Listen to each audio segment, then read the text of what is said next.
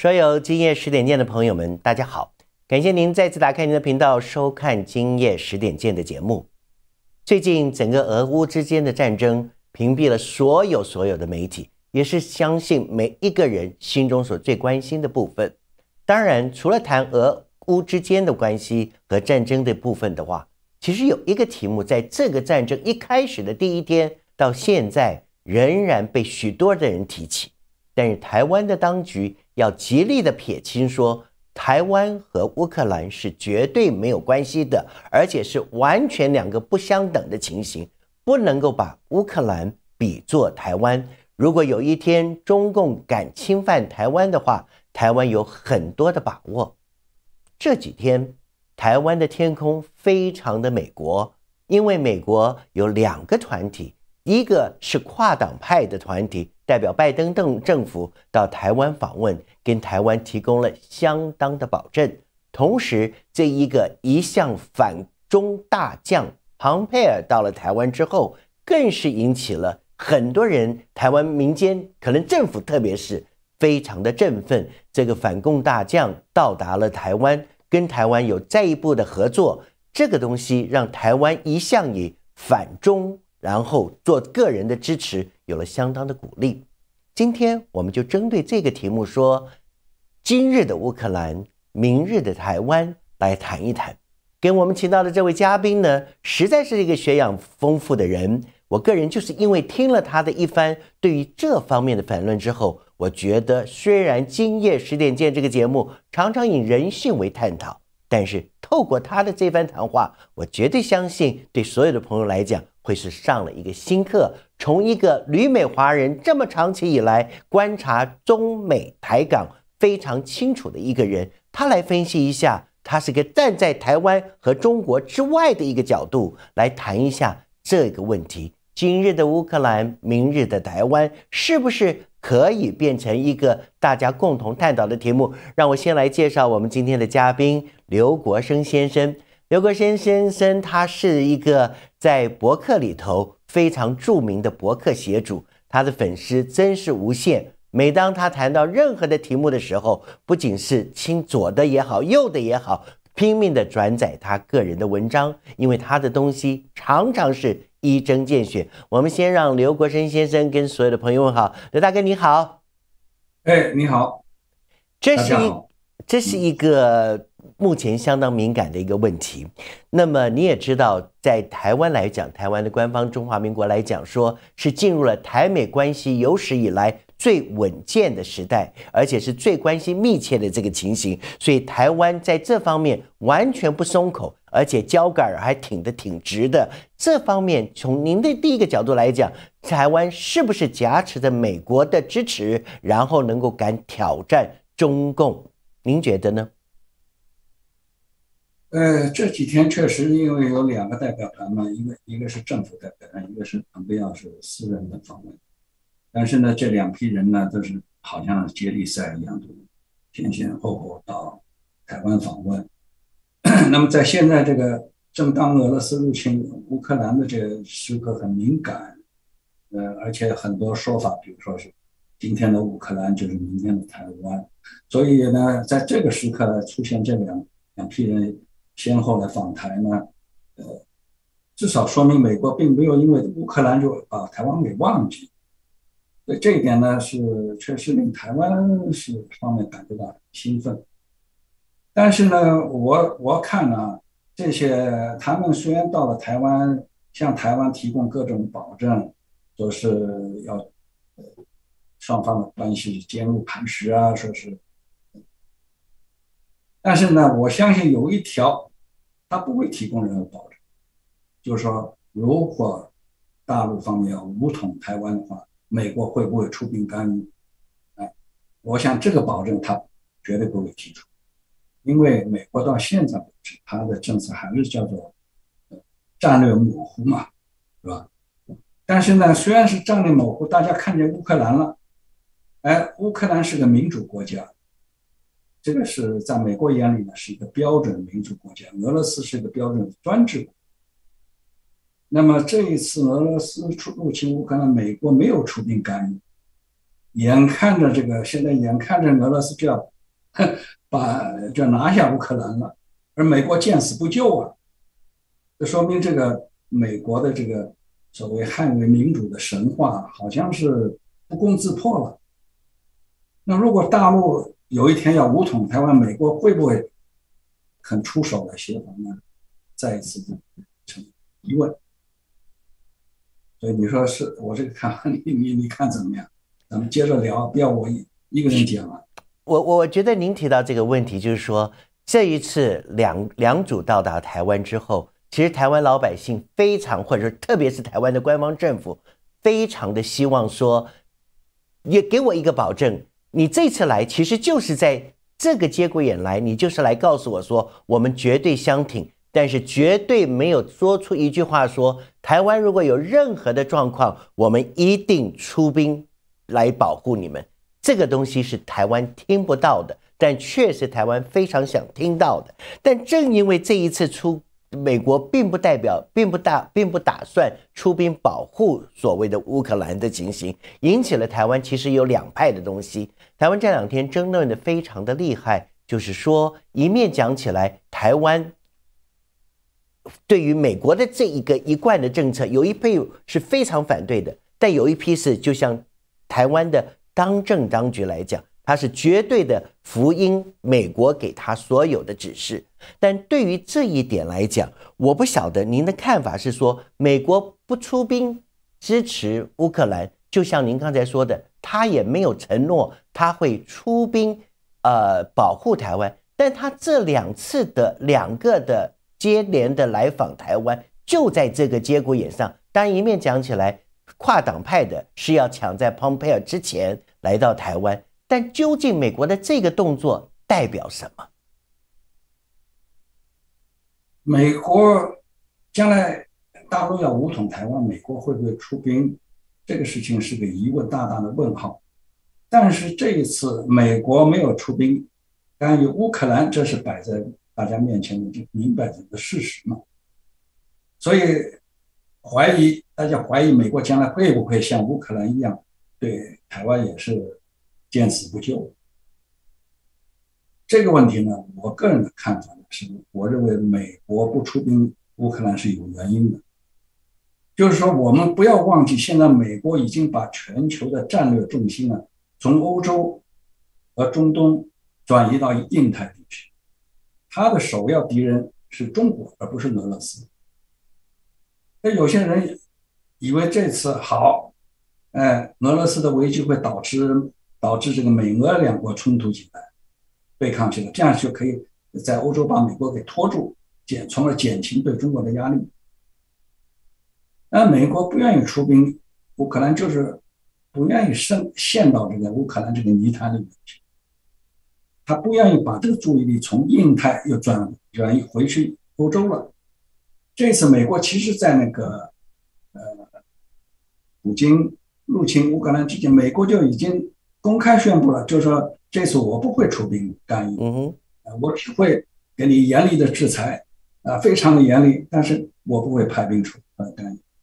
这当然，现在这个美国在说法是不是等于鼓励了呃普京入侵乌克兰？就但是呢，普京这样的行动呢，导致了一个很重要的后果，那就是把北约给激活了。对，哎，你你如果回想到二零一九年，你就知道那个北约庆祝七十周年嘛，哎，那个法国总统马克龙有一句话，他说北约已经脑死亡了，嗯，就是北约已经完蛋了。但是这一次北约一下子就激活了。所以呢，美国来讲，我觉得等于是，一方面他不陷入乌克兰这个泥潭，嗯哼，他要保持把主要的集中的这个注意力集中在印太地区，而另一方面又激活了北约，让那个欧洲的问题啊，呃，让欧洲自己去解。所以这一点讲，我觉得美国可以说一石二鸟，嗯。所以这并不等于讲，呃，美国不出兵乌克兰，就等于将来就一定不会出兵台湾。台湾，但是也不等于说，如果将来中国武统台湾，美国一定会出兵。呃，我我的看法就是说，美国出不出兵，要看台湾自己。要看台湾。台湾自己不想反抗，美国出兵干预，岂不是这个所谓叫做热脸贴热冷屁股是吧？自自讨没趣嘛。哎，最近我不知道你有没有注意，这个美国斯坦福大学有一个教授叫做 Francis 福库亚马，叫做福山教授，对他指出。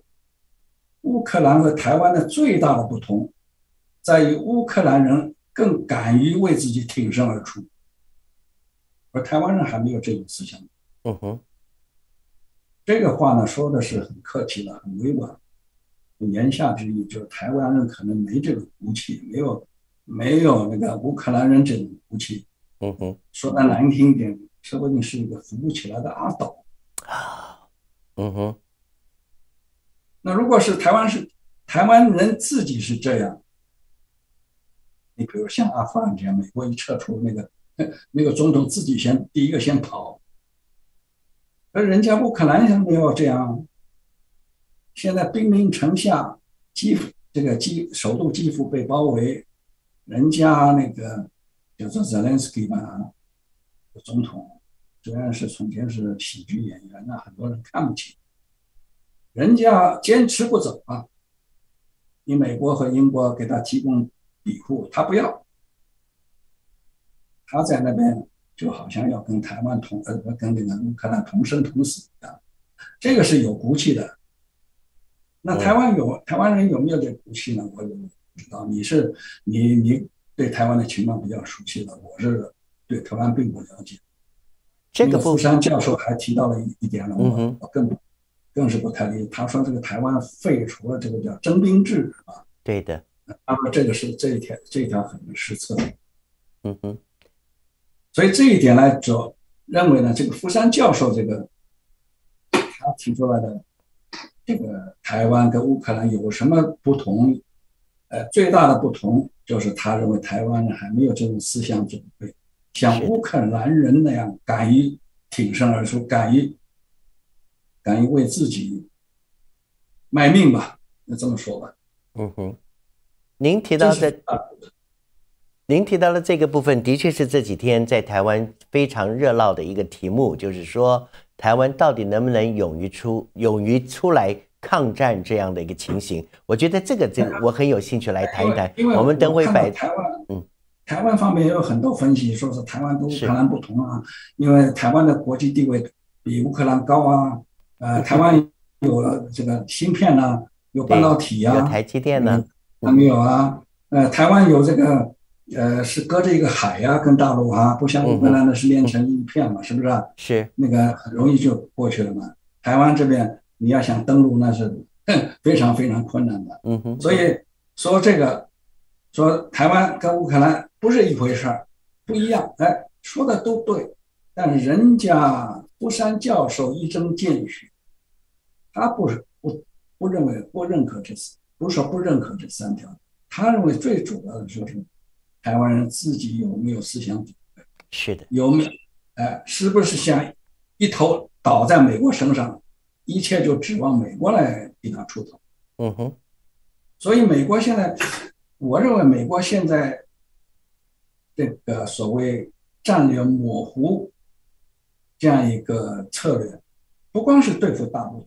恐怕更更多的是对付台湾，就是你不要以为我就是一定来，来给你提为你提死，嗯哼，要看你自己，你自己要不想干，我来替你，我来替你卖命，这可能吗？不可能。嗯哼，您提到了这一点，的确，其实我等会会谈，因为台湾偏安了七十年，事实上，包括这一次。俄乌之间的战争，对于台湾大部分的人来讲都没有想到会有这样的情形。然后您提到了福山教授所提到一个最重要的点是，台湾废除了征兵制，所以这两天一直在探讨这样的问题。在我们谈到这个问题之前，我反而要想要先请问您的一点，我是觉得这个礼拜我说台湾的天空非常美国，因为这这个团体呃来到台湾的访问，一向在还没有这样来的之前。中共就已经飞机飞在台湾的领空上面静静的，造成了很多的威胁，也造成了台湾老百姓非常的反感。反倒是除了在三月一号，中共官方发布了一个非常强硬的谈话之外，飞机没有来，整个的情形没有来。照理说这件事情是非常激怒中共的，但是为什么中共你觉得中国这两天是非常的安静？为什么？你如果问我为什么，我也不知道，但是我只能 我只能是推论和分析。嗯哼。我相信中国今今年呢不会有任何大动，因为今年对中国很重要，就是中共要开二十大，为了要保证这个二十大开得好，能够按照习近平的意思把它开得成功，所以他不会不希望有任何出来任何黑天鹅嘛。你看飞机出来。到台湾那个空防去跑一圈，本身也许没有什么问题，但是最大的问题就是大家所担心的就是所谓擦枪走火，擦枪走火发生意外。这一旦发生意外，双方打起来了，哎，这二十大就有问题了，就开，就可能就开不成。我记得好像是网上有这么一个新闻，就是说习近平发布作为军委主席，他发布一号。什么命令啊？对中国的军这个大陆的军发的一号命令。当时我看这一号命令里面讲的什么，就是军队要维护，就是想一切办法维护二十大的顺利展展开，呃，顺利召开。嗯，我当时我有点奇怪，我说军队不是要保家卫国吗？怎么变成去维护二十大呃顺利召开呢？这说明一切的重，一切重中之重就是召开二十大，顺利才。所以这个是在这个情况下，咱们不要不要惹事儿啊，咱们多一事不如少一事。我相信是这种背景之下，所以这个这一次尽管美国呃两拨人先后访问台访问台湾，令这个北京方面非常的恼火。但是北京的这个国内这个解放军的飞机并没有出现，我想背后的原因就是二十，就是因为二十大的关系。对，要为了二十大的顺利召开，不要出任何乱子，不要有任何意外，所以呢，一切都是为了这个稳中稳稳了再稳，不要不要惹乱子。嗯，就这个意思，我的想法。当然，这一次整个呃局面，中共扮演的相当所谓低调的一个角色。但是，因为美国的这一次的访问台湾，基本上其实是一个证明，是说我们支持台湾，因为台湾对美国来讲是一座最好的棋子，是完全可以掐住掐住咽喉的一一个动作。但是中国。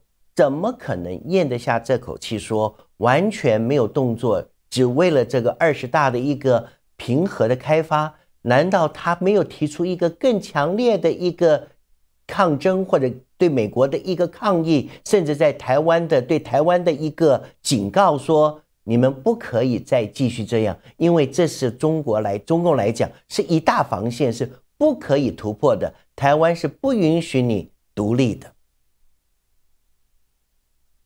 现在这次，你像普京入侵乌克兰之后，很多人拍手叫好，就说是：“哎呀，普京真是一条硬汉呢。”是啊，他他敢，他敢想敢干呢。这些人夸这个如此这个，呃，说这个这么样崇拜普京，其实他的背后的意思是对对中国领导人的这个不满。嗯，这包括包括很多人。现在还拥护毛泽东啊，拥护毛主席啊，这背后的意思也是对中国领导人不满，就认为中国领导人太窝囊。你怎么不学学人家普京这么说干就干呢？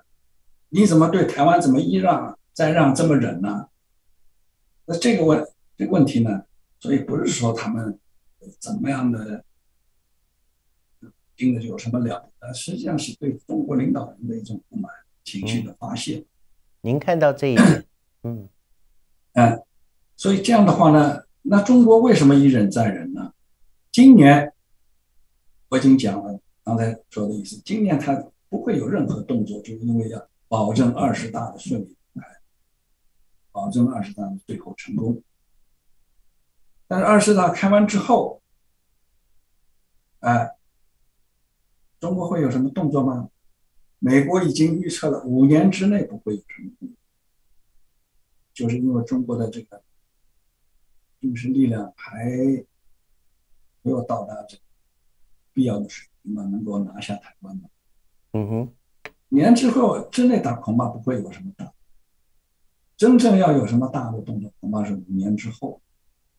你要说习近平不想去武统台湾吗？不想去把台湾问题解决吗？这肯定不是嘛，他肯定是很想把问题，但是不能说是你如果是要解决，你必须是呃保保证百分之一百的成功。你要是里面有出什么乱子，搞了半天结果自讨没趣的话，那这个事他也不会干。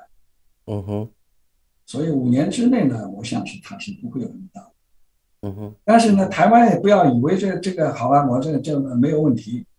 你要知道，这个美国的这个两年之前还是一年之前，美国有个国家安全顾问嘛，叫做 O'Brien，奥布莱恩，Yeah，啊，他曾经说过这么一番话，他就说，希望台湾变成一头豪猪。这什么意思呢？就是台湾跟大陆现在的力量对比是非常的不平，不平衡是倾倾向台湾呃向大陆这方面倾斜，就是台那个大陆军事力量远比台湾要强。那这种情况下，台湾是怎么办呢？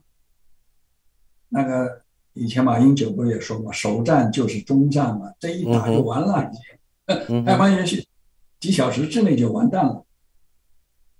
那么，美国这个奥布莱恩他他首先承认是的，大陆的军事力量比台湾要强得多，但是台湾也并不是束手无策的。是的，他就说他们台湾要学这个豪猪，嗯，这个豪猪呢，英文叫做啊，它除了豪猪之外，它还有一个名字叫做箭猪，嗯，就这个。这个小猪，呃，这个好像是一个猪样的这个小动作，它不是猪啊，它是是叫豪猪，它不是猪，它像的，它很像是个刺猬，它又不是刺猬，它是身上长满了这个刺儿，但这个刺儿是可以射出去的，谁敢惹他的话，他就把屁股对着你，然后他就往后面放箭，嗯哼，能够把那个。很很大的动物，像狮子啊，像豹啊，能够吃的满头满脑都是，嗯哼，呃，插的，嗯哼，箭插的，而且这个箭呢，都是有这个倒钩的，你要插进去是很痛，要拔出来更痛，所以这个事情来讲，他希望，呃，说台湾变成一头豪猪，那个就是说，虽然是打不过这个狮子。但是狮子见了它很怕害怕，轻易不敢去碰它。嗯哼，要达到这么个效果。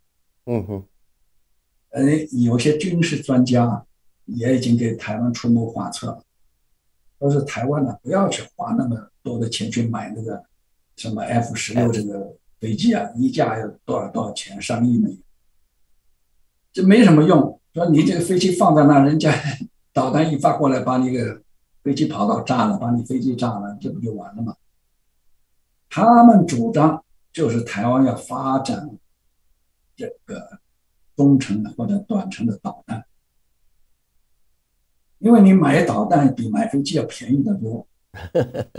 他认为台湾就应当大量的买这种导弹，然后把它分散在各个地方，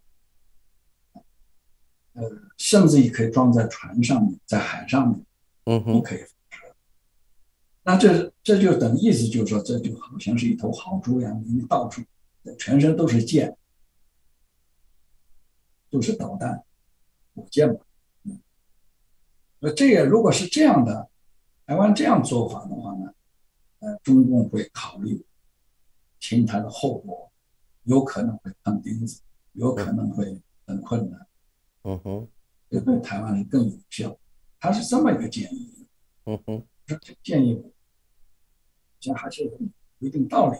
不知道你你觉得怎么看？我我个人就觉得这是一个非常有趣的一个比拟，就是说台湾变成豪猪，但事实上的确台湾有一些可以踩在中共的一些的痛处上，因为是挥不掉的民族的情感，又有民族的大义，台湾终究要有统一这么一天。但问题就在这边，现台湾老百姓不愿意和中共统。当然，里面有一部分的原因是说，台湾有一部分的意见说，我们相信一个大中华的一个观念，但是却不愿意和中共的体制上的合一。但问题就在这边，加上因为美中之间的关系，台湾这一个棋子当成了建猪，当成了豪猪之后，的确是可以发挥一个相当大的一个痛处。所以，这我要回过头来问您这个问题。我觉得这个建筑是一个很好的一个比喻啊。但是呢，我要回一个问题，就是说这一次苏俄的出兵，呃，乌克兰，造成了全世界至少我们看到所有媒体里头出现的是对俄罗斯的大力的挞伐。这件事情本来台湾没有想到这件事情跟自己有直接的关系，等他越来越觉得这个态势明显的时候。台湾的官方就要强调说，我们和乌克兰是不一样。但是，我想请教您的一个问题是说，到底因为这一个乌克兰的事件之后，对于中国当局来讲，会不会也心里稍微警惕，说俄罗斯的这个补丁的这一个动作引起了全世界上对他的挞伐，中共更不敢轻易的。因为最近在民间里头喧嚣甚上，说迟早有一天要做这件事情，但是有没有因为普京的这一个动作引起了全世界的挞伐，使得中国在衡量要不要取下台湾这件事情上有了更深一层的考量？有吗？很明显，中国现在也在观察，也在甚至于可以说也在学习。其中一个很重要的就是说。看看美美方、美国啊，或者欧洲到底是怎么制裁俄罗斯？嗯哼，到底这个制裁厉害到什么程度？那现在现在大家已经初步看出来，就是美方要把这个发动一个所谓金融核弹，这什么意思呢？就是呃用金融的手段办法，不是说过去是都是封锁这个贸易啊，说不许你石油。不许买石油啊！不许这，不许那。这次是用金融手，金融对的，嗯哼，就是这个使得那个国际的这个结算系统呢，把俄罗斯给赶出去了。因此，在俄罗斯在做任何事情呢，他这个很难动用他的这个外汇，等于他的全部的外汇储备都都被冻结了。这这一招。至少在日本呢，日本人看来是非常非常厉害。他们发表了这么一个，日经日经新闻网上面有这么一个说，就是美国的这一招是个猛药，嗯，叫猛药，很凶猛的一种药，就是这个呢非常厉害对付。但究竟厉害到什么程度？这我我有。有人说：“哎，俄罗斯跟中国可以做生意吗？用结算，用卢布结算，想办法，甚至以货易货，也不见得要通过你这个国际的那个叫做 SWIFT 那个那个结算系统。所以，中国现在也在看，如果说有朝一日中国、美国或者欧洲也都联合一起对中国采用这种手段的话。”中国能承受得了吗？嗯哼，我的看法就是说，最低限度比俄罗斯更难承受，因为俄罗斯现在跟西方世界往来过去前苏联不一样了，前苏联跟完全几乎是完全绝缘的，是不是？你要用什么经济手段去对付他，根本没有不起作用。那现在俄罗斯跟外界还是有相当多的联系，要卖石油啊，要卖天然气啊，呃，要购买各种东西啊，呃，高科技啊等等。所以呢，你要用这种手段制裁俄罗斯，有一定有一定的作用，但是作用可能不是很大。但是如果对中共中对中国采取这样的手段的话，把中国踢出这个 SWIFT 那个结算系统的话，那这个中国的经中国的经济可能会呃很大的影响。嗯哼，这不是一个所谓你不卖高科技给你的。这么一一个简单了，就整个你你要想，中国不是在在在那里有三万三万亿美元的外汇储备，嗯哼，冻结了，而且都都外汇整个停顿，那那这个这个影响太大，了，所以这一点中国现在，我想中国现在也在学习，也在看。那么至于军事上的行动，现在可以看出来。俄罗斯也不是那么强大的，好像是不得了的程度。现在这次看出来，他他毛病很多啊，呃，进展很慢啊，要想速战速决，也不是这么快就能解。所以这个军事上的这个所谓力量对对比啊，这个差别看起来它是很强大，真正动作起来了，真正要打起仗来了，好像也是就是一头纸老虎。不是什么不得了，所以这个事情呢，你对我想中国现在是在看，也是在考虑，是不是啊？他不是呃，从俄罗斯这个这个乌克兰这个事情是一个很好的一个学习的机会。对，不照这样的，美国美美国现在也在学习，也在看呢，究竟你这个经济金融制裁对对俄罗斯到究竟能产生什么结果啊？这种制裁手段，一方面制裁俄罗斯，一方面也制裁自己啊，自己也也受损失。就最严尖锐的问题就就那个能能源问题。那欧洲现在很大程度上依靠俄罗斯的能源供应，你你把它制裁了，把它掐这掐断了，不是自己的能源从哪来呀？这都要重新调整这个供应链，那不是一天两天能办的办好的事儿。所以这个制裁制裁到最后，也许说不定自己先顶不住了，那有可能的。嗯哼。那美国现在也在，恐怕也在看。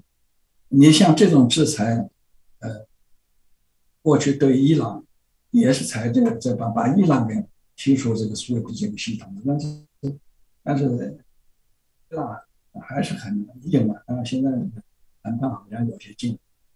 那总的来讲，你要用这个手段来对对付俄罗斯的话，尤其现在就俄罗斯有中国这个后做后盾，也不是这么好，不是这么容易制裁。嗯哼。但是我不知道这件事情从另外一个角度来讲，其实是不是可以让台湾松口气？其实正因为这件事情。造成了中共的不敢轻举妄动，所以台湾那一个被武统的担心应该是可以减少的。如果从这十多天发展下来的情形，您个人的看法呢？现在这个乌克兰这个十几天的情况发展下来，对台湾来讲呢，我觉得台湾人会考虑到自己的未来。嗯哼。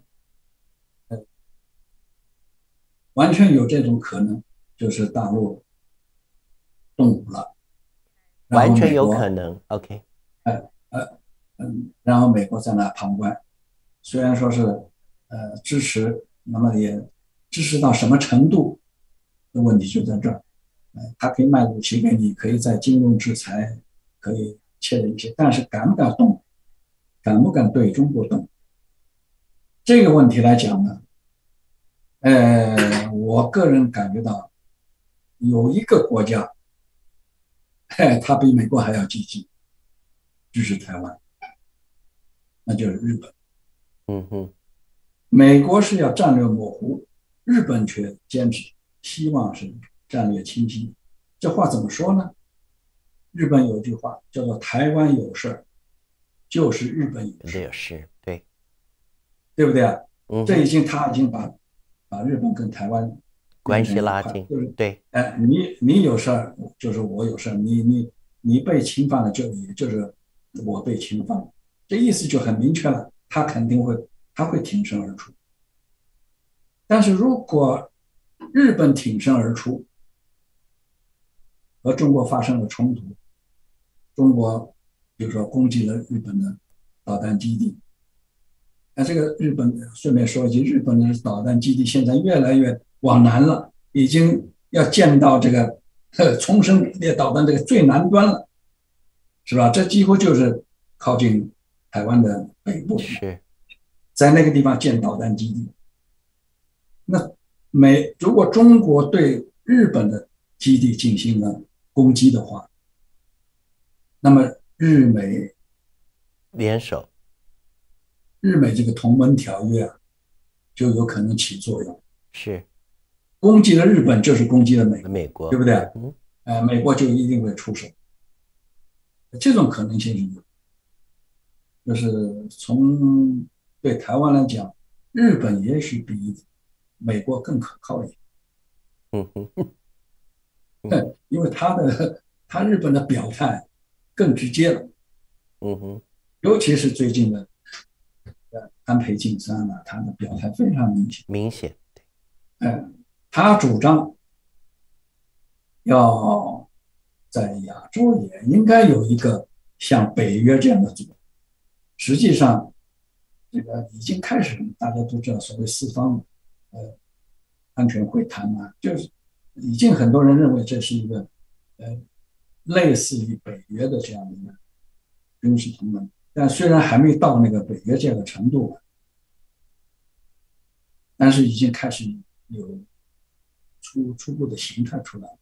嗯嗯，日本很很很主张这个，就是在亚洲也应当有一个北。嗯哼。其次嘛，他还主张要在日本建议要美国在日本部署核子核武器，而且要求。这个核武器啊，由日本和美国共同使用，就是他也要他也要有使用权，不能只是美国这单方面的使用。他已经提出了，所以他已经他他他说这个核核武器这个问题不是不能，不是不能谈，他们现在就应该谈。所以日本这方面的态度，我认为比美国更加积极。嗯嗯嗯嗯。那么现在这个除了日本，当然是欧洲。现在德国、法国现在都要加加多他们的国防费用，包括日本在内。在中国最不愿意看到的就是所谓日本复活军国主义。那么日本如果重新武装的时候，那是从五十年代中国就非常反对。中国、日本不能让它重新武装起来。那现在日本也要加大这个国防费用开支，德国也要加大国防费用开支。所有这一切，实际上都对美国是有利。这样，因为不然的话，美国就等于是在唱唱独角戏啊。现在日本也动起来了，德国也动起来了，法国也动起来了，这个对，呃，北约也激活了啊。亚太地区也出现了类似北约这样的呃释放会谈的这样的机制，甚至于日本呃，甚至于那个澳洲跟美国呃联合开发那个核潜艇，所以这些东西来讲，实际上都是对中国很不利。是的。那么你要说中国会不会武力侵犯台湾呢？我个人的看法是。应该说，中国武统台湾的最佳的时机已经错过了。我可以说这一点，最好的时机是什么时间？是奥巴马。奥巴马时代，嗯哼，那个时候，中国跟美国的关系啊，美国根本还没有。你要知道，美国所谓重返亚太，这个是从奥巴马第二任的呃 Hillary 克林顿做国务国务卿的时候，他们提出来美国要重返亚洲。在这之前，美国已经退出亚洲了，是不是？那个时候，如果中国突然袭击要把台湾拿下来，那绝对一举就成功。但这个窗口现在已经关起关掉了，也就是说，这个最佳的时机已经错过。那个时候，如果拿下台湾，美国想动手、想干预也都干预不了，因为他已经退出亚洲。嗯。但是现在美国又回来了，为什么回来？不是因为台湾，当然现在是为台湾，可是当初退回来的不是因为台湾，是因为南海海被扩展，南海那几个小岛。对。所以我觉得当时中国去把那个在南海。去弄这么几个小岛，我觉得是有点失策的。因为什么呢？你这么一搞的话，把美新加坡就要求美国回，哎，美国结果是回，嗯哼。但回来之后呢，他的注意力不光是南海，那他把注意力集中到台湾这个问题上面。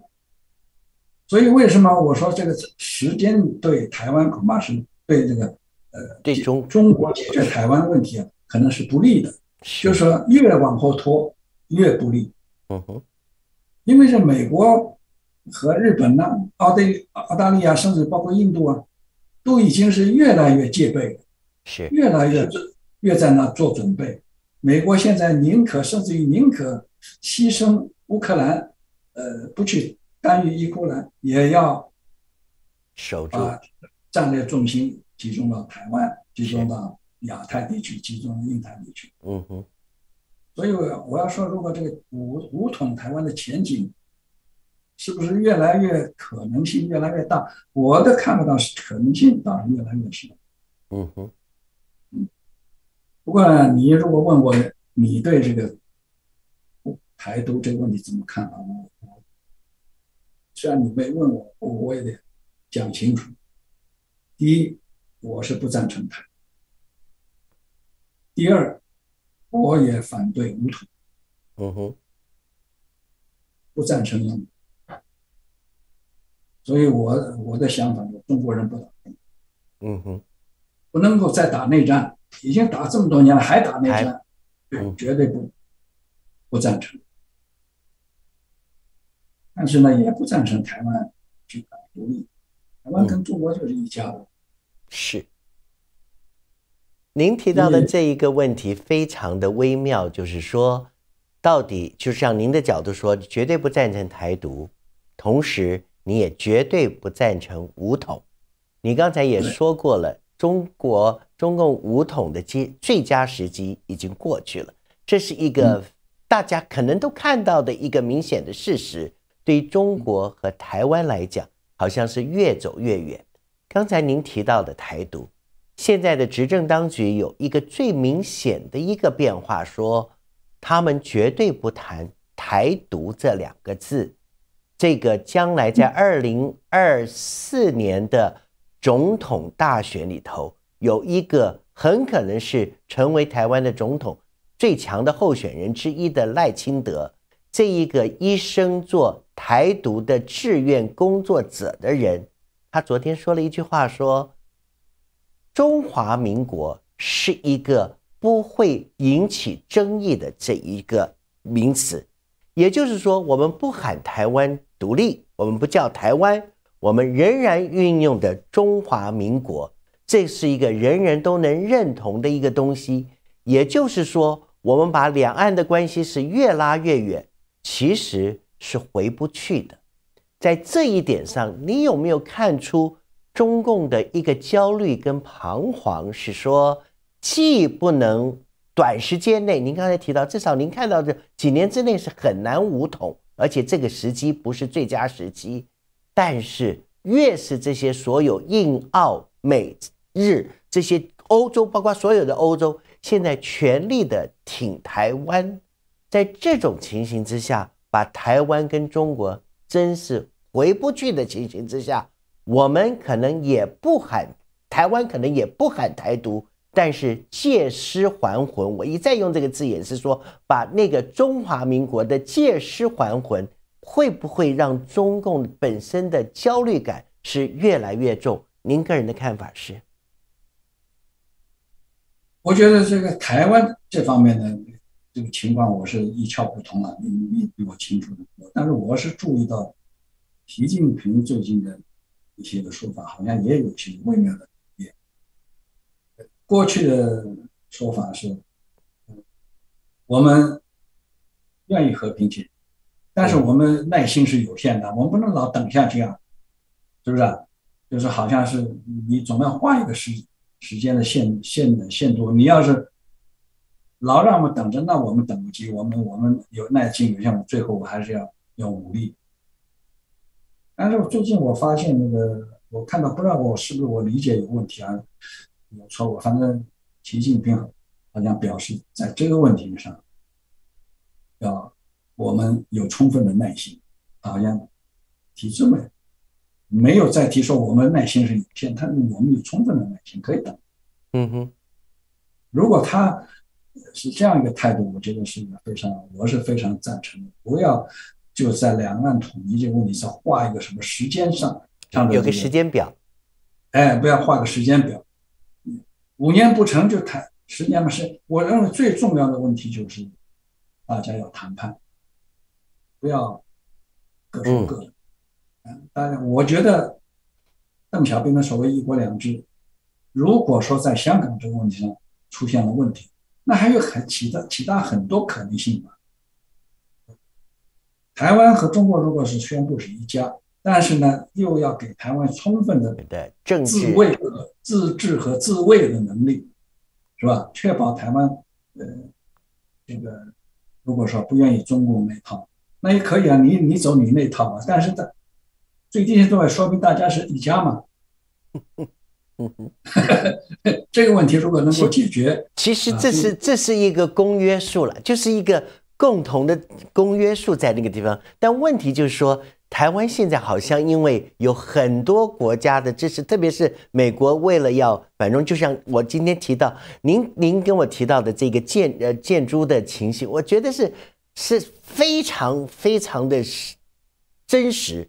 因为我已经扮演了豪猪的角色，我就刺得你全身痛痛的。但是其实对台湾没有好处的，没有好处的。你拿掉了一些，因为你很还有很大的一个贸易，你一年从中国大陆是赚了几几千亿的美金。在这种情形之下，你要真的逼到一个什么程度？不过就像我刚才跟您说，您您刚才分析的，我觉得很有意思。在台湾当局应该请你去谈论，就是说要坐下来谈。台湾可能也想谈，但是因为好像被人家激的，就让就让这个建筑真的搞不出、搞不清楚自己的。我其实是一个这么小的动物，但是他身上有台积电、有美国、有澳洲、有欧洲，他就把那个刺都以为是我身上里头的绝佳武器。但是不谈，绝对没有一个未来的情形。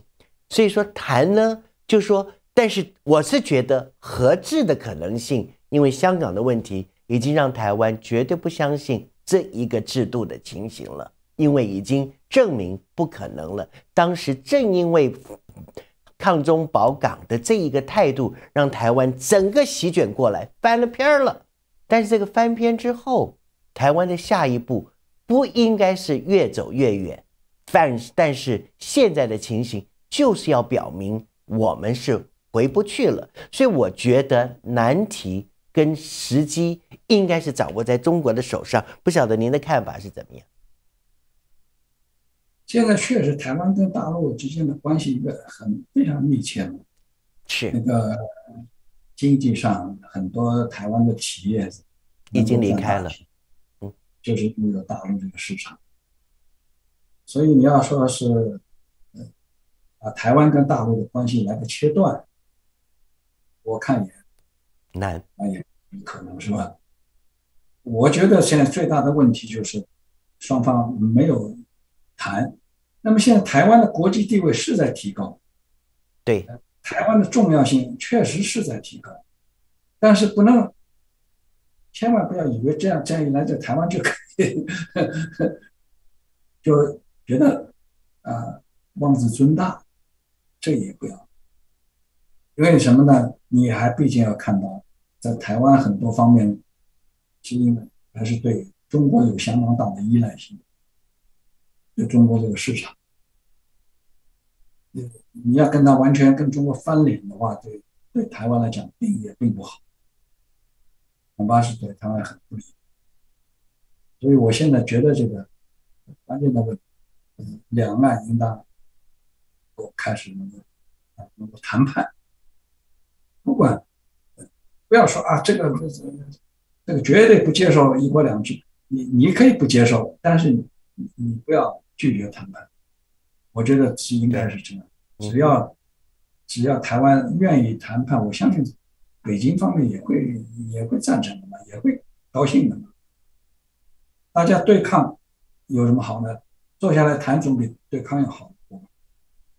但现在事情不是那么单纯的原因，就像您提到了，包括美国也好、日本也好、澳大利亚也好，这些的国家，因为我们强力的反中，所以我们也不希望台湾跟中国能够坐下来好好的谈，因为这个对很多来讲，建筑还是一个很好用的东西，我可以刺得你痛痛的，这是你既不愿意碰又不能不碰的一个问题。所以，即便海峡两岸希望谈，但是这些背后的国际势力未必希望看到这一个成功的一面。所以，有没有一种这种，还是一种牵扯在国际整个形势里头的现实？特别是我说，前现在普遍反中的情绪之下，这种情形会不会也是主要的原因？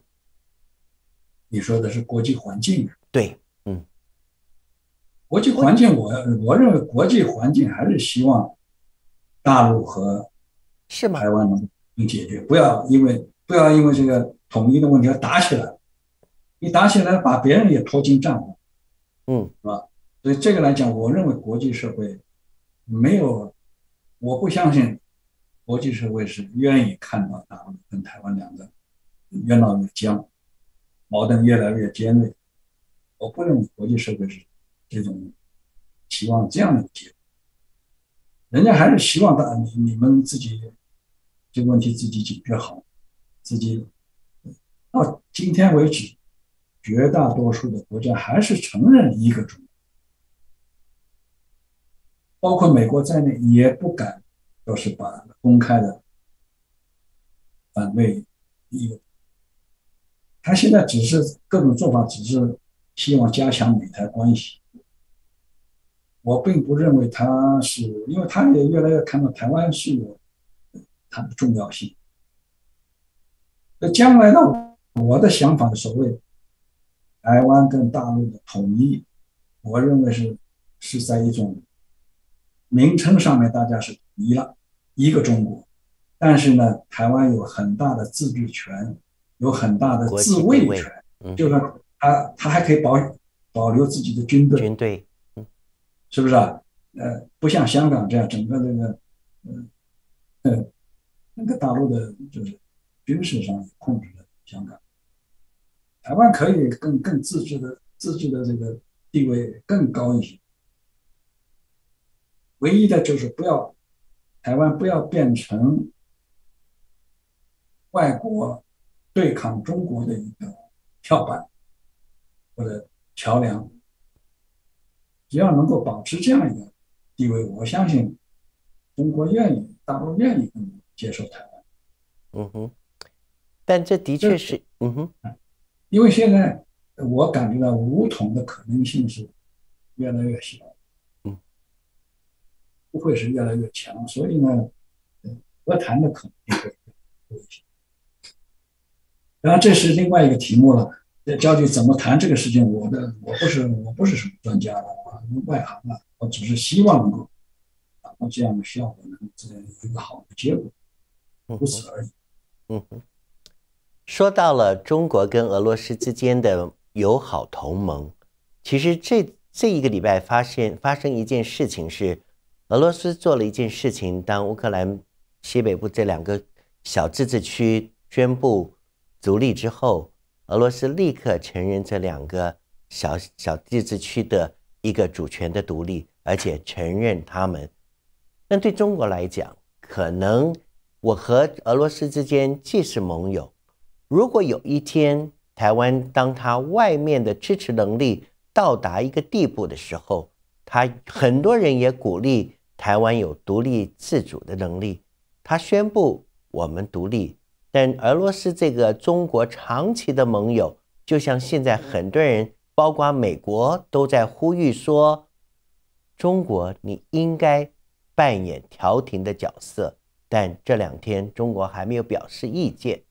但在这种情形之下，有没有可能因为俄罗斯的做的这一个快速的决定，承认那两个小自治区？同样的，当台湾一旦做这样事情的时候，中共怎么来面对这件事情？中共这个闷亏他怎么吞？他要不要对于这一个盟友进行挞伐？到目前为止，他没有说任何的话，这点您怎么看？这次这个乌克兰这个问题啊，中国的处境确实有一些，有有些非常尴尬，有些进退两难。不光是因为俄罗斯入侵了一个主权独立的国家，这个很难自圆其说，还。还有一个附加的问题，就是俄罗斯承认了这两个东部这两地区的独立。那么这两个地区曾经过公公投宣布独立，然后要求加入俄罗斯联联邦。有的人就联想了，说如果台湾有一天也来个公投独立，然后美国承认了，呃，这个你怎么说？美国可以说：“哎，你看，那那人家普京就这么干的吗？嗯，我们现在也也也照样这么干，你有什么反对啊？”那么这个来这个来说呢，讲呢，这个在这这个问题上，确实中国是确实有比较尴尬，因为呢，不光是现在出现这个问题，二零一四年这个克里米亚问题上就已经有这个问题出来了，克里米亚公投。然后独立，然后要求加入加入俄罗斯联邦，俄罗斯第二天就接受了。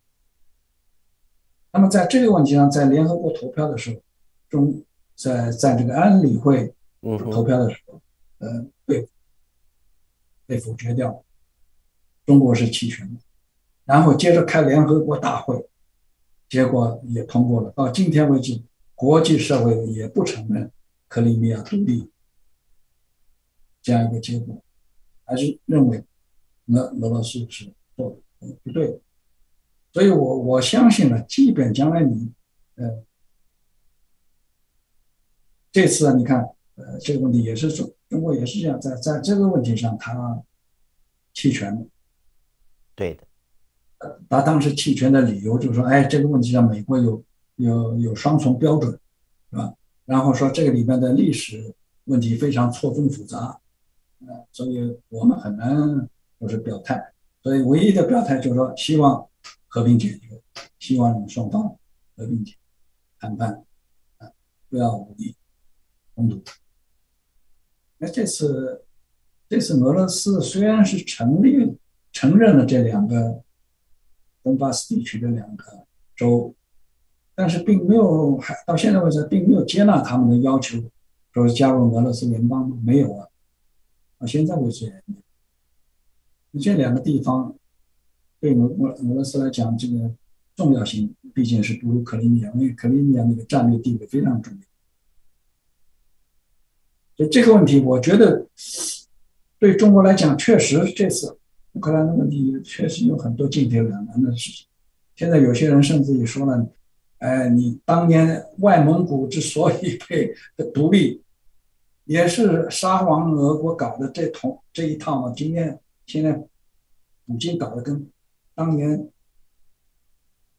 沙皇搞的是一模一样啊，就是鼓动独立嘛。因为所以外蒙古所以今年成为一个独立国家，也是也是在俄罗斯的鼓动鼓动之下出现。那这些问题，我想。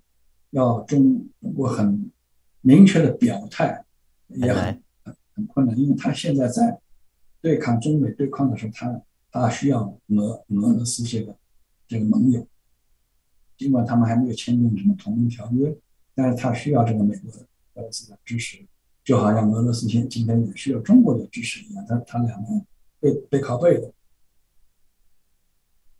所以我我承认是呃是，中国在这个问题上确实有很多尴尬，他不好明确表态，但是他内心里面我相信他是反对。嗯哼，说到了这样的一个情形，可能这场的战争结束之前还有一点点，还要一段时间，但是就已经发生的这一两个礼拜以来，我不晓得您个人怎么来看，就说。中方也好，美方也好，台湾也好，谁获利最大？谁从其中学到了什么功课？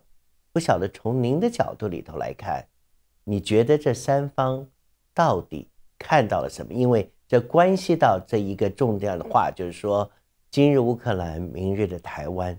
从这件事情上，您觉得美中台这三方？各自学到了什么？您的看法是？这次获利最大的应该说是美国吧，赢家是美国。不管俄罗斯入侵台湾是这个，呃，入侵乌克兰是个什么后果，赢家是美。美国在欧洲激活了北约，又避免陷入乌克兰的这个泥潭。继续集中把所有的力量集中在印太地区，符合他的这个整个的全球战略。那么台湾当然是也也更加也需要依靠美国，因为在乌克兰这个问题上，无论如何他也感觉到对自己是有威胁，所以更需要依靠美国。所以我觉得美国。最大的赢家是美国吧，应该是这么说。嗯哼。那么至于中国怎么样，台湾怎么样，我觉得这个还进一步看。所以中国现在态度在不断的产生一些非常微妙的转变。嗯哼。过去比如前阶段都不不承认俄罗斯入侵乌克兰是一种战争。它只是一种所谓特殊军事行动，嗯哼，这是经已经的说法。现在也承认这是一场战争。对于这个这场战争，中国究竟应该站在什么立场上？现在我发现国内现在也开始不是一面倒，而是有很大的争议，在这个问题上争议越来越大。包括我我自己的这这大学的同学群里面也可以看出来，嗯哼，有的人就认为中国不应该在模棱两可，就应该明确的表态，赞成什么，反对什么，嗯，不要不要再搞那种模模糊糊的这种 这种态度，是吧？他们也不也不不赞成，嗯。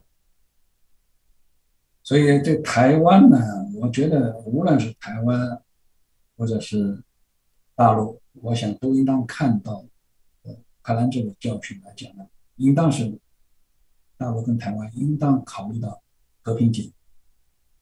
嗯哼，理解决不是一个办法，要和平解决就要开始大家坐下来谈，谁要不要说，哎，你这个我比你强。你不如我，嗯，谁也不用说这种话，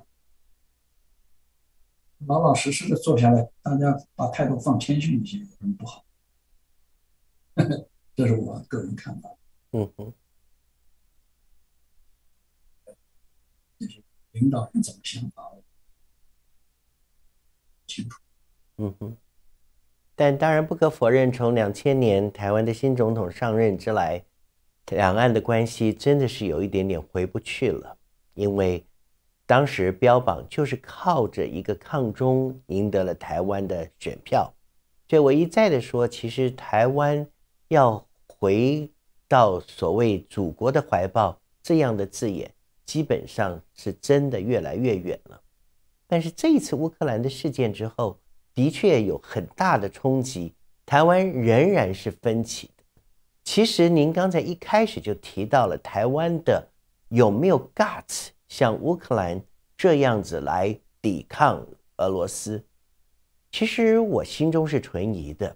为什么？因为台湾自己本身其实内部是有分歧的。就像你看，台湾整个的媒体、整个民众，其实最近虽然大家同时挞伐俄罗斯的侵略，这是肯定的，但是背后其实很多的面对于台湾，对于会不会成为明日的乌克兰，有相当大的一个分歧。在这一个分歧之下，台湾有没有能力？像乌克兰一样同心同德的来集起抵抗，我觉得，包括今今天这两天蔡英文讲的一些的话，在民间激起的反应其实是很弱的。所以一旦有所谓的武力犯台的话，台湾拿起了最后一个扫把来抵抗的可能性其实是不容易的。所以我就觉得说，就像您刚才说的，希望海峡两岸。的领导人能够坐下来谈，我觉得台湾背后接受的美日澳欧洲的牵制，恐怕暂时台湾也很难扮演这样的角色，因为这一个豪猪的角色其实比较好用，比较可以吃到痛处，比较可以让中共更不敢轻易的冒犯。但是今天我觉得是端看，如果是大国的话。大国，大国如何伸出友谊的手？我这是我个人觉得。你你觉得，呃，习近平也好，中共的当局领导者能够用这样的胸襟，而不用恫吓的角角度，然后来跟台湾用强夺的方式来做的话，你觉得中共的当局做不做得得到？以及现在其实整个大中国的一个民怨，觉得说我们究竟还要等多久？啊，这个民间的武统的情形声音也不小，不晓得你觉得中共当局的领导人这样的一个胸襟有没有可能能够解决目前台湾的问题？你要说到领导人，台湾的领导人我是不了解。嗯，中国的领导人我也不了解，但是我最最低限度我在中国生活了很长的时间了，是吧？今天对于习近平来讲，我最担心的，就是他周围的有些人在那搞所谓个人崇拜，嗯哼，报喜报忧，歌功颂德，这个这个事情，我过去有有过这个体验，有过这个经历，在毛泽东走过，嗯，哎，就是。领导人被一小批人包围，这些人不把真实的情况告诉，让他脱离群众，脱离整个大环境。那么，作为习近平来讲呢，他过去反腐啊什么，我是很拥护的。对中国采取很严厉的治理手段，我也赞成，因为中中国人你不严管，似乎也也。似乎也不行，需要一些严管。但是呢，如果说是，呃，搞这个个人崇拜的话，变成个人权威，变成一切都是跟他的个人的声望、地位、威信联系在一起的话，那这个事情就可能会走入歧途了。所以，比如说在解放台湾这个。这个统武统台湾这个问题上，我相信会有一批人要习近平建立一种历史上的功勋吧，哎，能够在他的任内把台湾问题解决掉。那在在他认为把这个问题解决了，有两种解决办法，一个是武武力解决，一个和平解决。我相信，如果用武武力解决，这个是对习近平将来的。历史上的评价也不会有好好的评价，反而和平解决这个事情对他来讲更更好。因为和平解决是最困难，双方要能够谈到，能够谈得拢，能够达成一致的协议，不是一件容易的事。看现在从现在来看，那似乎是几乎没有可能。但世界上很多事情就是看起来没有可能，最后导致办成了。这这这种事情多得很。我现在对习近平唯一的希望就啊，不要不要要要小心周围的这帮人，哎，因为拍马屁的啊，说好话的，所谓高级黑、呃低级红，这些人太多在中国。我希望他能够明察 是非啊，能够分清什么是在那拍马屁，什么时候是忠言，作为逆耳的忠言。这个事情，我对他来讲呢，现在是最大的一个担心是在这个问题上。我不知道你的看法怎么？嗯哼，这个在民主国家，所谓民主国家不会有这个问题，因为大家都可以。都可以骂领领导人呐，是啊，都可以批评啊。这个，你你看拜登现在的支持率越来越下降，大家不满意啊。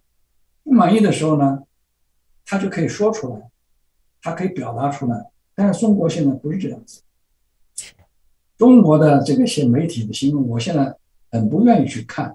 就是你一打开，就是习近平怎么怎么样，习近平。过去还能看到习近平怎么样，然后下面有李克强什么，后来李克强也没了，就剩下一个习近平，看起来太乏味，我我都不愿意再看这种同所谓拍马屁的同，嗯，嗯哼，很很反感，嗯哼，这当然是一个旅美四十多年的华人的一番的感慨，希望。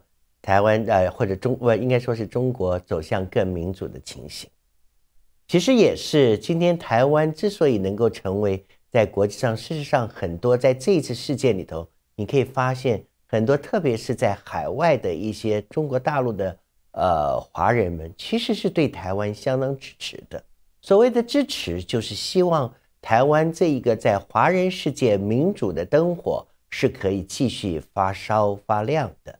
但也有他一部分的遗憾，是说台湾的执政当局的确也有一种慢慢走向一言堂的情形，因为各自所辖他在所辖制的媒体里头也都说一样的话。但是好在台湾绝对是一个民主的所在，因为批评的声音仍然处处可听见，同时人人都可以说，包括当台湾全台湾停电。发生突然停电的事情的时候，蔡英文的脸书被大家灌爆，然后对家大骂，这是一个民主的一个可贵之处。也希望整个中华人类因着在台湾的这个民主的影响能够更大。但是我长久一个遗憾就是说，就像你说的，有一些的明君能够分辨，其实哪里都需要有明君，能够自己能不能做明君。而不要只听一种声音，或者不释放一种声音，恐怕是中国人一辈子都要学会的东西。所以，我觉得可能还是有蛮长的一段路可以走。今天我们非常感谢刘国生先生，大家看得出来，刘国生先生今年已经八十四岁了，八十四岁了。所有每天可以发四篇、四五篇的博客文。在网络上 引起非常多的人的喜欢阅读您的文章。那我相信，呃，大家也可以从呃，他真的是首席博客主，他的文章非常的犀利，也非常的精辟，赢得了很多人的好感。我们希望以后有任何中美台港的任何关系，因为这三个这些地方。让您在谦称说，对台湾你唯一的熟悉是它的美食，而不是它的整个民主运作的东西。但我们希望在这方面常常来向您就教，谈谈这一个纯粹在美华人没有特别的一个倾向的情形之下，对我们说一些客观的分析。感谢您今天的参与，我们也希望能够再次的邀请到您来到我们节目当中，替我们分析一些现实的情形。谢谢你，刘先生，谢谢，谢谢。好，谢谢，再见。